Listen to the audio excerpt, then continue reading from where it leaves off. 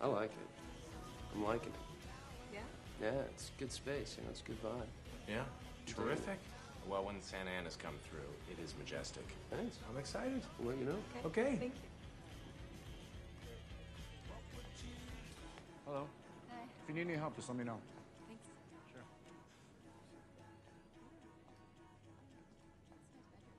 Mm. Thank you for eating. I'm the first one, huh? Yeah. I never understood why people are so afraid to eat at an open house. I know. No. Why's Ferrigno selling? Oh, he bought a place in Jackson Hole. Ah. Yeah, I think he's tired of the Hollywood grind. Right. You know, I've always wanted a pad with a giant Lou Ferrigno statue, so I think I, I, I think I found it. Hey, he's got one. You're wasting your time with that couple. Just FYI. Why'd he say that? I saw the guy pull in. He's driving a Saab 9.3, which uh, I'm not a snob. It's a great car, but it costs thirty thousand dollars. This house must be what four, four point two million dollars. Doesn't quite compute, right? Well, I hope that's not the case. He told me he was going to make an offer. I think he's trying to impress that girl he hasn't slept with yet. How do you know that?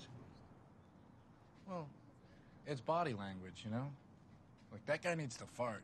It's pretty clear, but he doesn't know her well enough to do it in front of her, so I assume they haven't slept together. He does seem to be clenching. Yeah, he doesn't want to fart. Watch, when he gets enough space, he's gonna let one rip, I guarantee you. Oh, that's a good move. Hey, go check out the kitchen, honey. I'll meet you in there. Now watch. Making his move slowly, slowly but surely. Watch the leg. Wait for it. Wait for it. Fart. Boom. That's a fart, oh motherfucker. God. That's a fucking fart. Oh my God. Look at him crop dusting across your open house. It's it's a disgrace. He farted in my open house. You sure did. You know what, guy? I like it, but I'm thinking it might be a little bit small. Totally, and it smells like fart.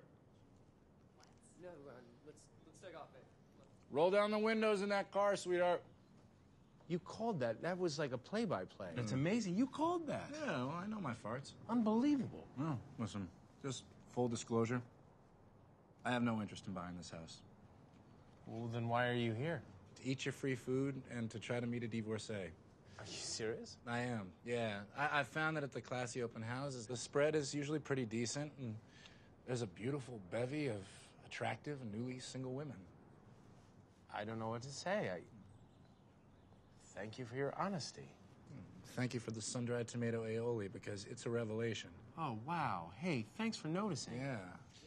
All right, I'm going to take this panini for the road. There's an open house in Bel Air that promises to be replete with cougars. So. Yeah, I don't want to miss that. No, sir. it was nice to meet you. You too. Yeah. Hey, you know, let me give you my business card. Oh, all right. In, in case you're looking for, a, you know, a new home or anything. I actually specialize in smaller houses, bungalows, that kind of thing. Oh, lovely. I'll give you mine as well. Okay. Sydney Fife. That is my name. There you go. well, thank you for the great open house. My pleasure. All right. Okay. Nice to meet you. You too, Sydney.